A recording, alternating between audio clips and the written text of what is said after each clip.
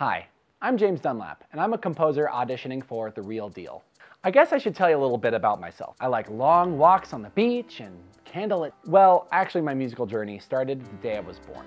Growing up in a vibrant musical family, nothing stopped me from singing my first song at the age of two years old.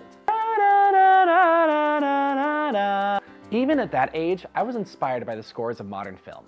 Throughout my childhood, I was able to hone my musical skills during long road trips, making up harmonies to video game tunes with my older sister and my dad, showing off his latest Disney impression in the background. Oh gosh, Adrian, musketeers have big ears, uh-huh. I guess it runs in the family. I started realizing I had a talent for composing during my senior year of high school. Since then, I've been composing to the film score of my life.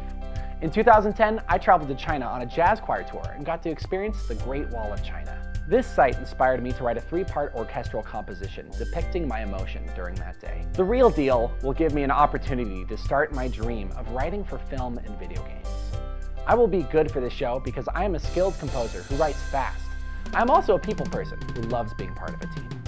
Oh, and speaking of people, I work at a Starbucks. Believe it or not, I actually love customer service. While other starving musicians are trying to make a buck, I'm dancing around, singing while closing orders with catchy coffee puns. I am powered by passion for friends, for music, and making others happy.